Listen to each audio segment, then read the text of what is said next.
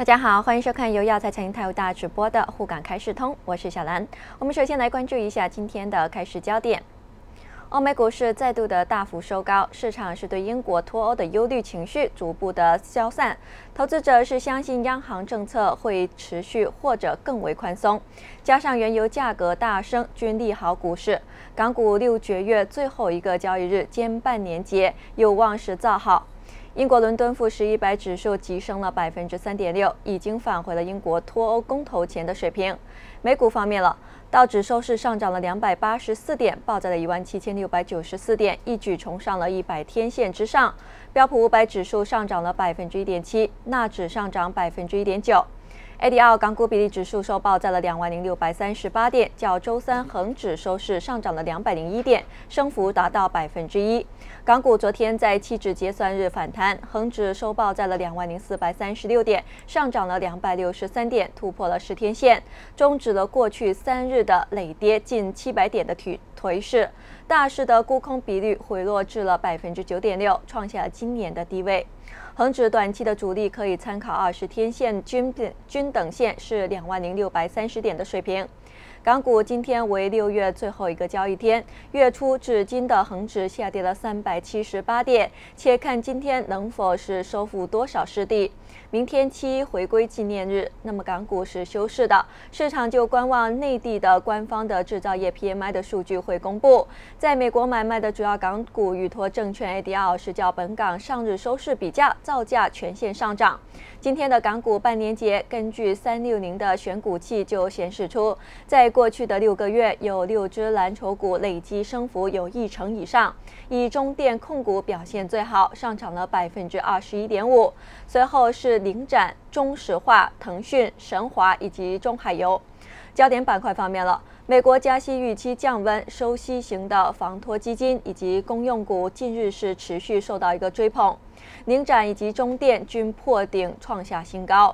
恒生房地产基金指数四天是累计上涨了百分之三点八，创下了二零一三年五月下旬以来的一个高位。领展创新高之际，据报道，特首梁振英是接受访问时就批评领展是以追求最大利润为目标，又指领展有独特的企业的社会责任，应该服务公屋居民。领展昨天十四天的 RSI 升至了七十一点九，进入了技术的一个超买，留意短期股价的表现。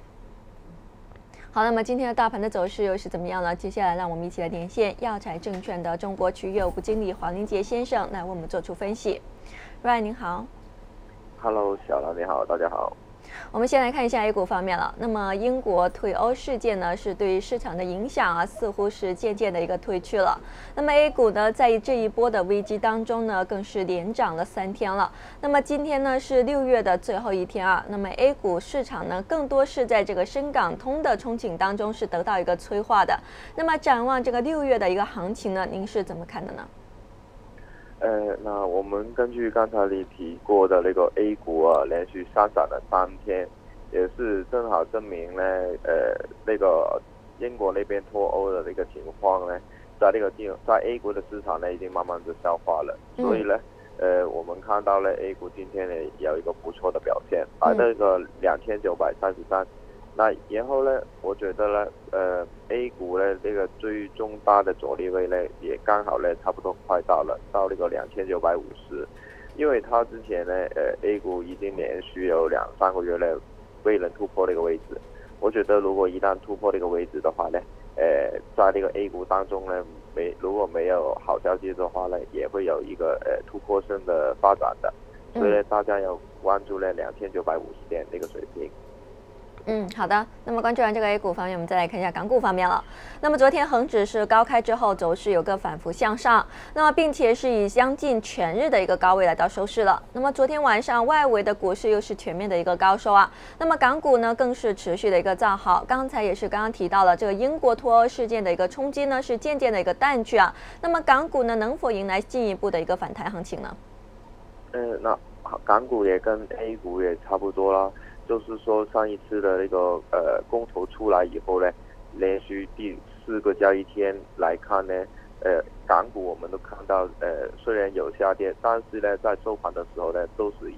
差不多以最高的位置来收盘了。然后连续跌四天呢，今天也有一个突破性，来到这个两万零呃八百点那个位置。但是呢，我觉得呢，如果今天呢，其实如果去到能，如果再往上走多两两百点呢，去到两万一呢，会有一定的阻力的。因为呢，呃，明天开始呢有三个三个三天的放假的假期啊，所以呢，呃，应该我觉得呢，这个走势也不会算是太猛的。嗯，好的，我们感谢万做出的分析。好，接下来我们来关注一下主要蓝筹股的一个具体的表现。汇丰控股升五毛五，中国移动升八毛五，建设银行升九分，工商银行升六分，中国银行升四分。港交所升两块，中国人寿升两毛，友邦保险升一块三，腾讯控股升两块七，金沙中国升五毛。长和升一块五，新鸿基地产升两块零五分，九龙仓升一块一，中国海外升一块三毛五，华安置地升八毛。中海油升两毛九，中石油升一毛三，中石化升一毛一，昆仑能源升一毛八，中国升华升两毛八。再看一下今天早上有哪些主要的财经消息。美国联储局就公布了今年的银行压力测试最终的一个结果。三十三家接受测试的大银行当中，有三十一家银行的资本计划获得了通过。银行可以削减风险管理，以及向股东提高派息以及回购股份。不过，德意志银行和西班牙国家银行的美国子公司再次未能够通过测试。另外，联储局指摩根士丹利内的内部流程当中有薄弱的环节，必须是在十二月的二十九号之前提交解决方案。结果公布之后，花旗集团随即宣布，未来一年将会回购最多八十六亿美元的股份，并且将季度派息从每股五美仙提高至了十六美仙。美国银行也宣布计划回购最多五十亿美元的股份，季度派息从每股五美仙提高至了七点五美仙。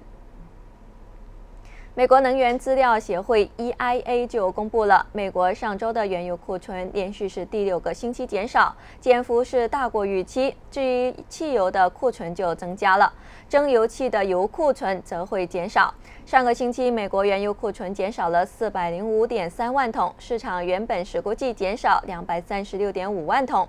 汽油库存大幅增加一百三十六点七万桶，市场原本估计只会增加五点八万桶。至于蒸馏的油库则油库存则会减少一百八十点一万桶，减幅是大致与市场持平。EIA 就指出了美国原油交割地库欣的库存减少了九十五点一万桶，减至了六千四百二十三万桶。发展局局长陈茂波就认为了，英国脱欧对于香港楼价并无重大的影响。楼价受到多个因素的影响，包括是供求、本港和外围经济等等，需要综合考虑各个因素。置业人士也要管理好自身的一个风险。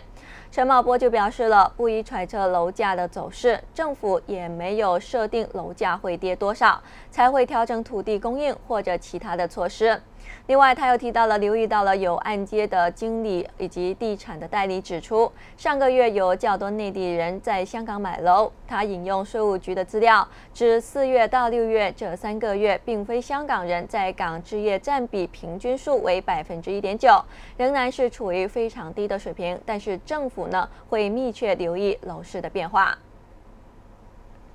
波司登至年今年三月底止，上个年度的盈利达到了二点八亿元人民币，按年是大幅上涨约一点一倍。派莫七息每股二点六港仙，期内收入达到五十七点九亿元，按年就减少百分之八。当中主要收入来源于品牌的羽绒服业务，收入达到三十九点八亿元，按年就跌了百分之二点五。贴牌加工管理业务以及非羽绒业务就收入分别为九点八四亿元以及八点二六亿元，两者都是按年下跌约为百分之十八。至三月底止，公司的毛利率为百分之四十五点一，按年就下跌了零点五个。百分点。